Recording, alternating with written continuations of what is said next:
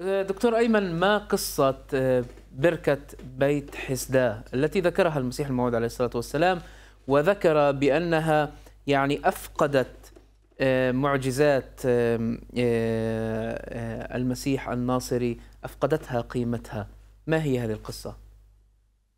نعم بركة بن حسدة هي بركة في أورشليم وهي بركة معروفة بركة من الماء طبعا معروفة بخواصها الطبية الشفائية.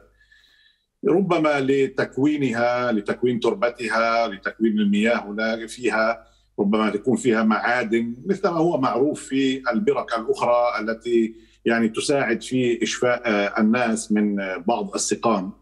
فهذه البركة يعني مذكورة في الكتاب المقدس. والمعروف وفق الكتاب المقدس أن في هذه البركة كان ينزل ملاك الرب إلى الماء فيحرك الماء فيها فالشخص الذي يدخل من فوره عند تحريك الماء يشفى مهما كان مرضه. هذه بركة بن حسدة الآن المهم في القضية أيضا أنه معروف وفق الكتاب المقدس أن يسوع المسيح كان يتردد على هذه البركة. وكان أيضا يستعمل مياهها وتربتها ويدهن نفسه بها فكان يعني يتداوى بها أيضا وينصح الآخرين أن يتداووا أيضا بها الآن ما أهمية القضية هنا؟ أهمية هذه المسألة أنه إذا كانت هذه البركة لوحدها كانت تشفي اليهود يعني كانوا اليهود يذهبون ويجلسون ويجتمعون حولها فقط ينتظرون تحرك المياه من أجل أن يشفوا إذا كانت هذه البركة تشفي الناس فما خاصية وما هو الميزة التي يتميز بها يسوع في شفائه للناس الآخرين؟ يعني ما كان يفعله يسوع كانت تفعله هذه البركة بنفسها بدون يسوع أيضا.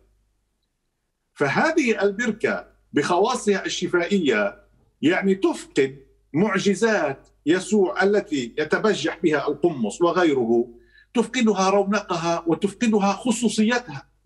لدرجة أن هذه البركة أدخلت الأوساط المسيحية في حرج كبير. وعندما يذكرون هذه البركة في الكتاب المقدس يضعون يضعونها بين أقواس. لأنهم يشككون في مصداقية هذه البركة ومصداقية هذا النص الذي يتحدث عنها. ومنهم حتى من حذفها من الكتاب المقدس لأنها تحرجهم. لا يصبح هنالك أي قيمة لما يفعله يسوع. يعني هم يتبجحون بأن ما يفعله يسوع من شفاء الناس كان شيء يعني غير اعتيادي وشيء خص به هو. طيب نقول لهم إذا كانت البركة لوحدها تشفي الناس ما خصوصية شفاء يسوع للناس؟ وهنالك بعض القسس عندما أفحموا في هذه القضية اعترفوا بأن هذا النص الذي يتحدث عن بركة بن حسده أدرج لاحقا في الكتاب المقدس. وهم يعني اجوا كحلوها عموها. أنتم تعترفون بأن هنالك نصوص أدرجت لاحقا في الكتاب المقدس؟ فما يدرينا لعل هنالك الكثير من النصوص الأخرى التي أدرجت. يعني يزيدون الطين بلة في هذه القضية. إذا فليسمع القمص عن هذه البركة وعما تفعله في المعجزات التي يتبجح بها.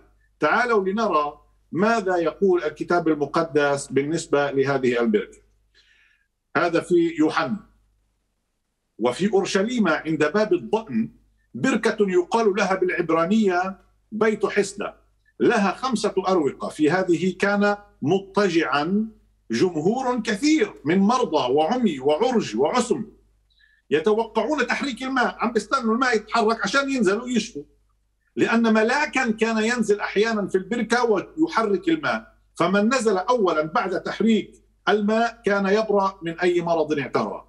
يعني اللي كان ينزل أول واحد كان يشفى. هذا ما يقوله إنجيل يوحنا. ثم هنالك نصوص تدل على أن يسوع المسيح كان يذهب إلى هذه البركة، ماذا يقول هنا في يوحنا في إنجيل يوحنا؟ وبعد هذا كان عيد لليهود فصعد يسوع إلى أورشليم وكان هناك إنسان به مرض منذ 38 سنة هذا رآه يسوع مضطجعا وعلم أن له زمانا كثيرا فقال له أتريد أن تبرأ؟ أجابه المريض يا سيد ليس لي إنسان يلقيني في البركة متى تحرك الماء؟ بل بينما أنا آت ينزل قدامي آخر. يعني كلهم بصدقوه لما بده يجي ينزل على البركة فلم يحظى بهذا النصيب من آه، الشفاء من هذه البركة. فهذا النص يدلنا على أن يسوع مطلع على هذه البركة ويعرف خاصيتها.